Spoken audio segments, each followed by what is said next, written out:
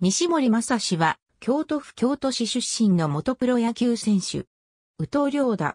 京都市立上川中学校時代は、京都田辺ボーイズに所属。3年時春に全国大会優勝を果たしている。高校は北海道の北昇校に進学。1年時から公式戦に出場。3年時の夏は南北海道大会決勝で田中正宏要する駒大苫小牧校に敗れ、準優勝に終わる。甲子園出場経験はなし。エースの門脇拓馬とは、京都田辺ボーイズ時代からチームメイトであり、1学年後輩には上村祐介がいる。高校卒業後は、社会人野球のホンダに入社。2006年と2007年の2年間所属する。2008年1月22日、四国、九州アイランドリーグの香川オリーブガイナーズに入団。1年目の2008年は、正捕手であった土上隼人との併用や一塁手として起用され、球団の前期優勝、年間優勝、グランドチャンピオンシップ優勝に貢献した。2年目の2009年から NPB 入りした土上隼人の後を受けて正捕手となる。3年目の2010年は、他選手と併用されながら、全校期優勝、年間優勝を達成し、グランドチャンピオンシップでも、石川ミリオンスターズを下し完全優勝を決めた。しかし、自身は打率233と低迷した。4年目の2011年は、打率273、日本塁打25打点、6盗塁の成績を残した。2011年10月27日の NPB 育成ドラフト会議で横浜ベイスターズから2巡目で指名。支度金300万円、年俸360万円という条件で育成選手として入団した。入団当初の背番号は112。ちなみに、会議直後の同年11月4日に、球団の経営権が TBS ホールディングスから DNA に譲渡されたため、横浜 DNA ベイスターズとしての一期生にも当たる。公式戦終了後にフェニックスリーグに参加していたが、ルール違反などがあったとして、参加を取りやめさせられた。7月17日に支配下登録選手へ移行すると、共に背番号が112から66に変更された。7月27日の甲子園球場での阪神戦にて代打で初出場。初打席で初安打、初打点を記録した。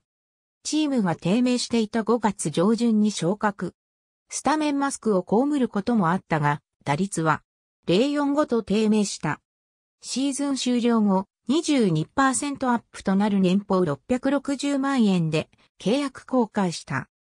2軍スタートとなり、5月15日のイースタンリーグ対ロッテ戦で本塁クロスプレー守備の際に負傷、救急搬送され、入院療養することになった。その後、7月に2軍戦に復帰した。9月18日に1軍登録され、ダイソーとして2試合に出場した。9月21日に1軍登録を抹消され、シーズンを終えた。春季キャンプから2軍スタート。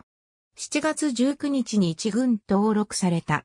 チームの代打の切り札、後藤寺武俊、下園達也らの出塁に対する代走として起用された。また、正捕手の戸柱春高の打席に代打として送られたが、3打席すべて凡退に終わる。うち2試合では、その後マスクをかぶり保守守備についた。8月3日に登録を抹消。その後は10月から開始の宮崎フェニックスリーグの参加メンバーに選出された。2軍で打率350、オプス812と打撃は好調だったが、一軍の保守陣が高木俊人、峰井博樹、戸柱春高の3人で固定されていたため、出場試合数はわずか8試合にとどまった。正保守であった戸柱春高の不振による正保守争いが勃発していたが、伊藤光の加入などで一軍での出場は代打での3試合のみだった。一軍公式戦への出場機会がないまま、レギュラーシーズン終了後の10月1日に、球団から戦力外通告を受けた。11月1日に、球団を通じて現役からの引退を表明。NPB の他球団からチームスタッフ就任の打診を受けたが、横浜スタジアムで自分の名を冠した試合をいつか実現できるように、スタジアムの近くで働くことを通じて、ファンを喜ばせたいとの意向に沿って、横浜市に本社を置くエンゼルホームへ入社。入社と同時に発足したスポーツ企画開発課でスポーツ関連の新規事業を任される。西森の打撃フォーム保守としては異色の俊足、両打ちの選手である。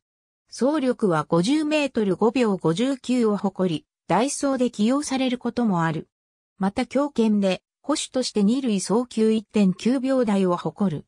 もともと右打ちであったが、自慢の俊足を活かすため2012年シーズンの秋から左打ちの練習を始めスイッチヒッターに転向した。また、強肩、俊足を活かし、外野手にも挑戦していた。2013年10月15日、2012年5月から交際していた女性と結婚している。以下の数値は四国アイランドリーグプラスウェブサイトによる。ありがとうございます。